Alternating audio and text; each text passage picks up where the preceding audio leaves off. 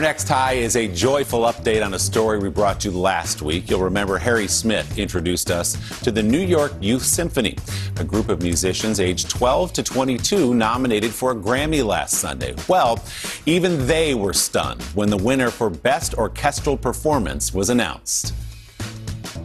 Grammy goes to Works by Florence. Yeah! Scenes of wild celebration from New York to the Grammy ceremony itself in Los Angeles, where conductor Michael Repper took the stage to accept the trophy. The group of kids upset giants of classical music like the Berlin Philharmonic with John Williams and the LA Philharmonic with Gustavo Dudamel. The symphony becoming the first youth orchestra to win the category and for an album they recorded while separated during the pandemic. We all were texting each other on Sunday night. They won, they won. Congratulations, guys.